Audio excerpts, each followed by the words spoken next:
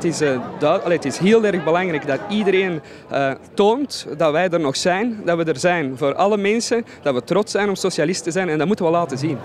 De militanten in Antwerpen toonden zich vanmorgen extra strijdvaardig, want de socialisten worden aangevallen door zowel rechtse als linkse partijen.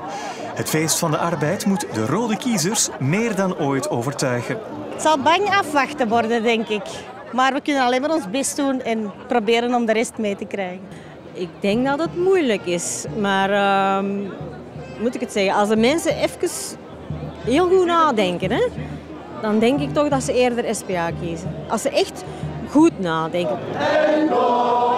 Maar de concurrentie is bikkelhard. Op de 1 mei-optocht is er ook een opvallend grote delegatie van de radicaal-linkse PVDA.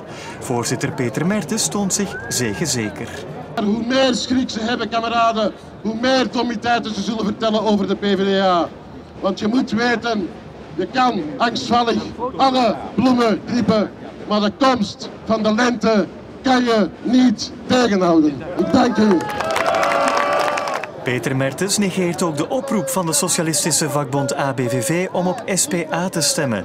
Rode kiezers zijn vrij en zullen op 25 mei ook vrij stemmen, zegt de PVDA.